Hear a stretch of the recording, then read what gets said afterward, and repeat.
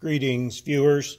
Thanks for joining me out in the shop today. We're looking at, of course, a third member or a differential. And this is out of my new white third gen. Uh, it has had a Spartan locker installed, but sadly, excuse me, it was installed incorrectly. So I have to tear that apart, and I just thought I'd show you what I'm doing. I can kind of deconstruct it, show you the gears that you take out, and make this a Spartan Locker install video. Uh, it's important that you mark your caps. These are already marked because the fella just put it in. I say, sadly, he overlooked one simple thing. Not a big deal, not his fault, not faulting him. We all make mistakes out in the shop. But you could take these off with 12 on both sides. These are the retainers that hold these two adjustment rings in. Now another important thing, you should have a dial indicator for doing this job so you can set your lash. Hear that moving? See how much? Hardly any. I got the gift of the eye. I can set that back without um, using a dial indicator. I recommend you use a dial indicator but I'm not going to. So all that to say, finish taking this apart. Don't put your fingers around chrome sockets either. Bad. Bad. don't use chrome sockets on your impacts. You're not supposed to do that, you know.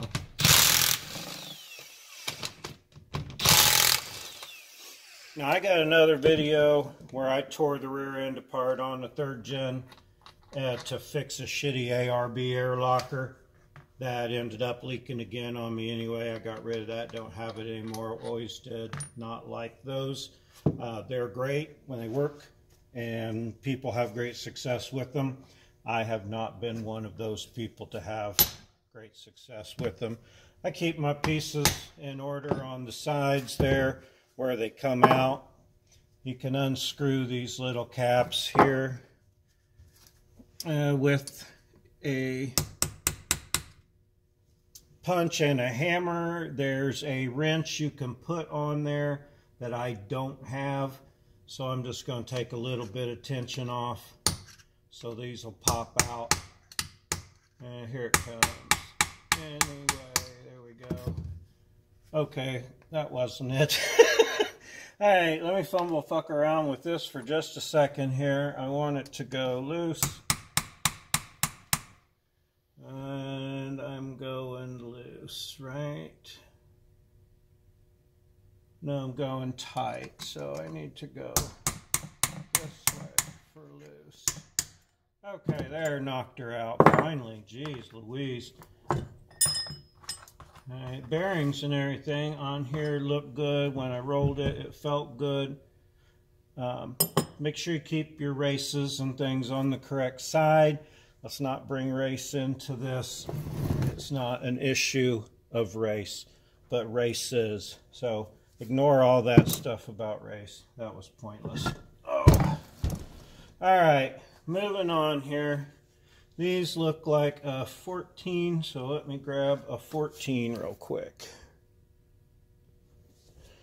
Clearly, I ramble on, obviously. I don't rehearse or script or plan my videos out, but I like to share the stuff I do with you out in my shop. So you don't have to take the ring gear off. This is a V6 third. It unbolts and comes apart in two pieces.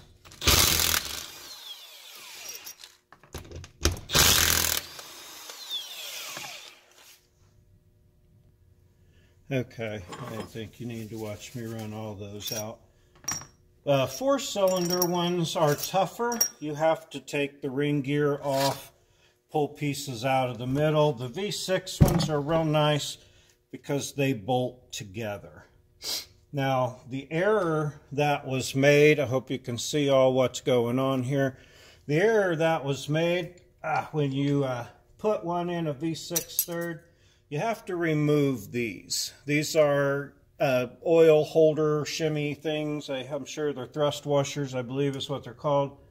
They help hold gear lube in place and space it properly when you have your regular side gears in.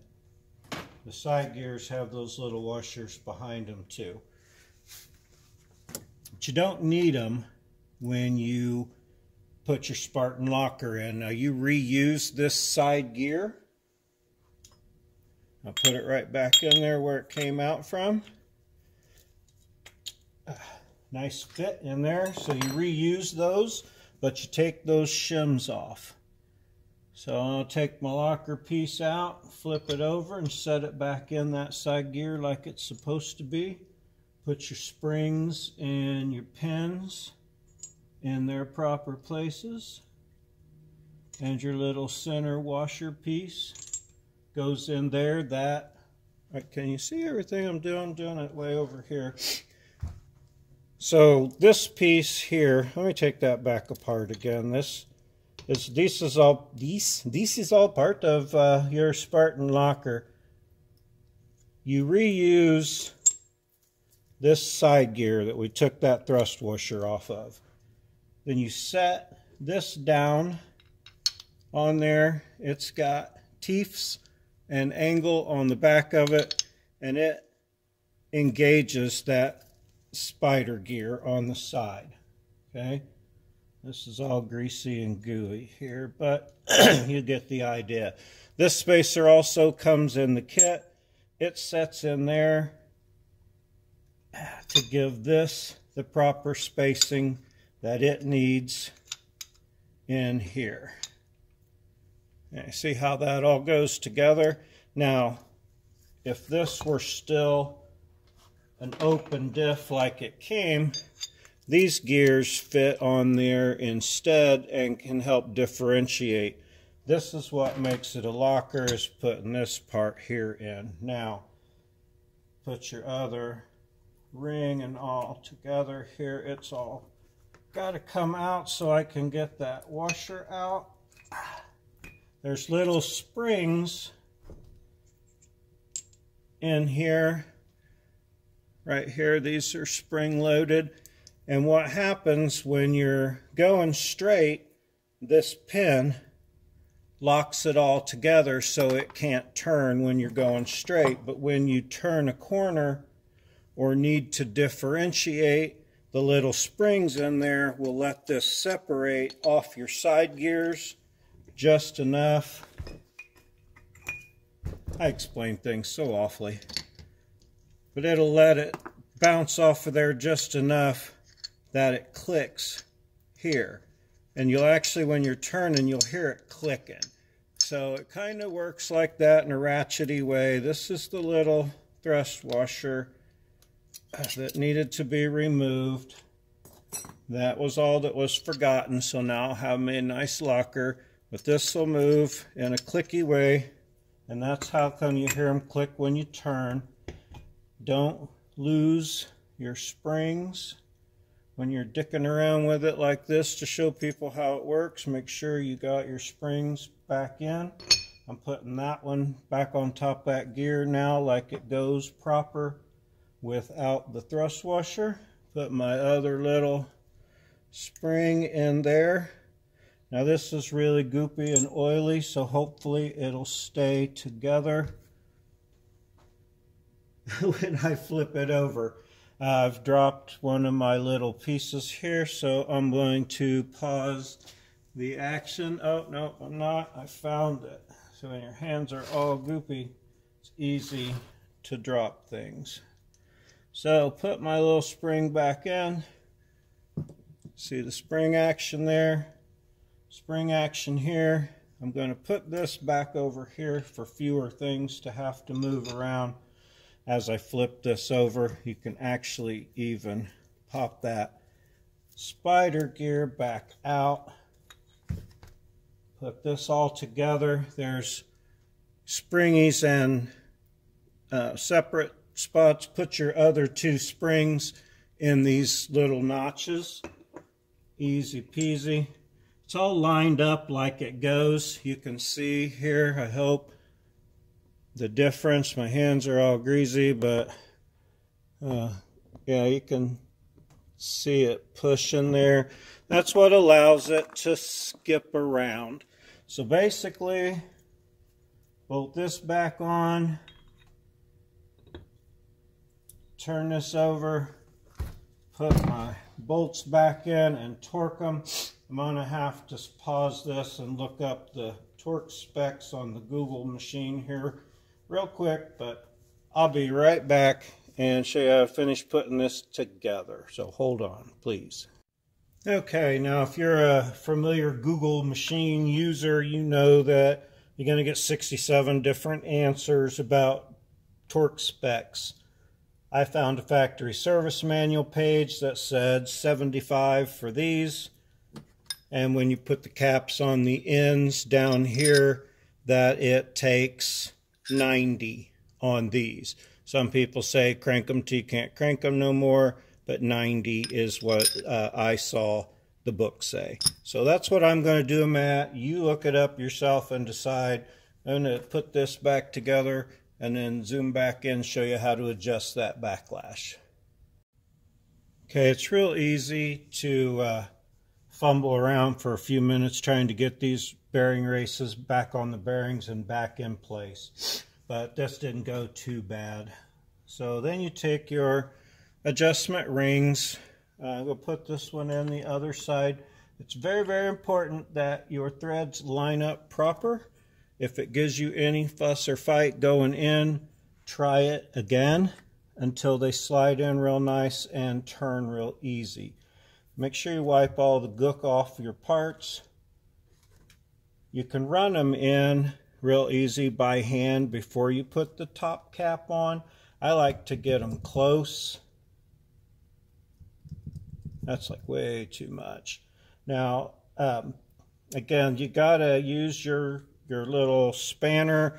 Usually I have a spanner that has two pins that goes in there and you can turn these, but I do not uh, have that as I couldn't find it. I don't know if I loaned it out, broke it, threw it last time I used it, or what. I'm to put these caps on. Again, crucial that you line up your threads just right when you're putting your caps on. Again, they should go on with no fuss or fight. While it's all still loose, make sure that they spin easy in there. That's how you know you got it right. So run your bolts in. Now I'm not going to bolt these down until I get real close to where my backlash is. Um, I'll run them in, but not tighten them down to torque yet. Anyway, make sure, again, you get your crap wiped off. Um, some places, of course, use perfectly clean rooms and beautiful spaces. Um, I've made trail repairs in the dirt, so a uh, little bit of crud. I did sweep it first. A little bit of crud, though, doesn't really bother me. So I'm going to run these up just a little bit here to get some little bit so I can turn my rings easy. And then I can adjust this. So hopefully I didn't go too much where I can still turn them by hand. No, I probably went too much.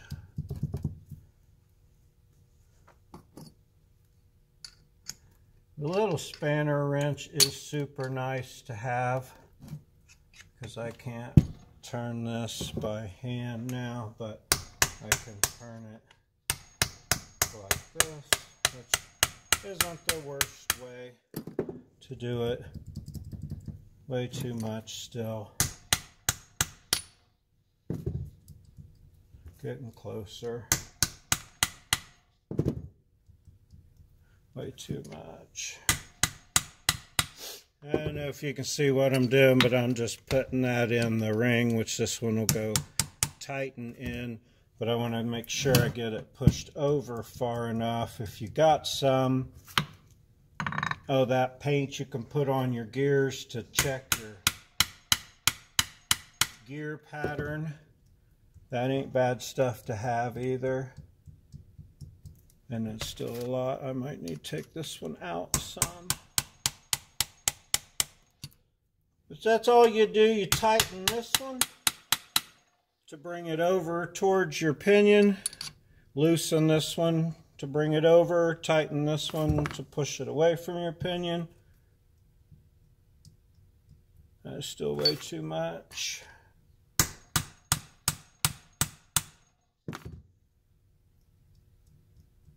Way too much still. If you work on these a lot, it's really nice. You make you a little ring to put these in. I've seen those before, and then you can hang the whole thing down into uh, your bracket, and it's pretty sweet. I'm going to go ahead and adjust this by going back and forth here. Hang on just a second. Okay, that actually only took two or three more hits. I thought I was going to be at it for a minute. Now I'm going to make it a little tight. Now I'm going to bring this one tight now up against it just to make sure it's tight so it can't walk around.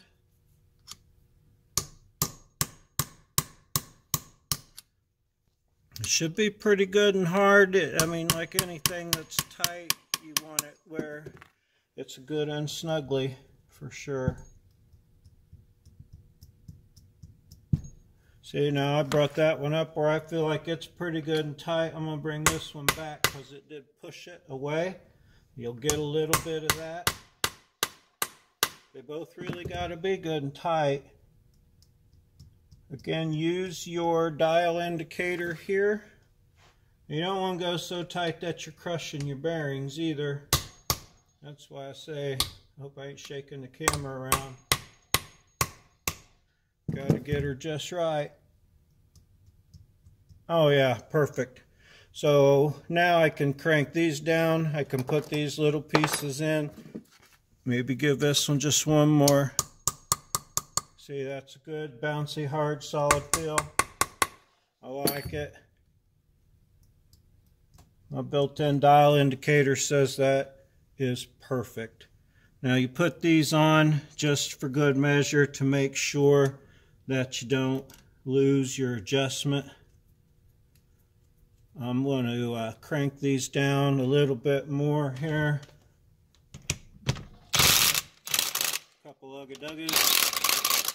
Then I'll put this in my vise and crank those down to uh, the book says is 90 but I might go 100 because another guy said go 100 to 150 if you can and he's like a guy who rebuilds these a lot so maybe he knows something.